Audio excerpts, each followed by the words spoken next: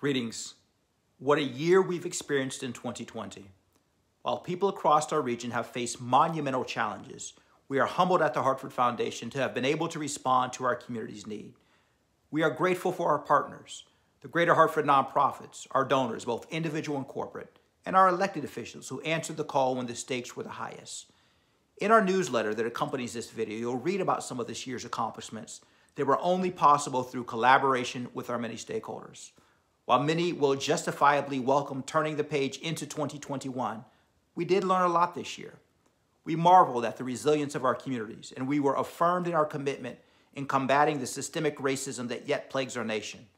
Most importantly, we were reminded that our mission still matters. We hope that you'll continue with us on this journey to dismantle the barriers that yet prevent thousands of our fellow Black and Latinx neighbors from living life to its fullest.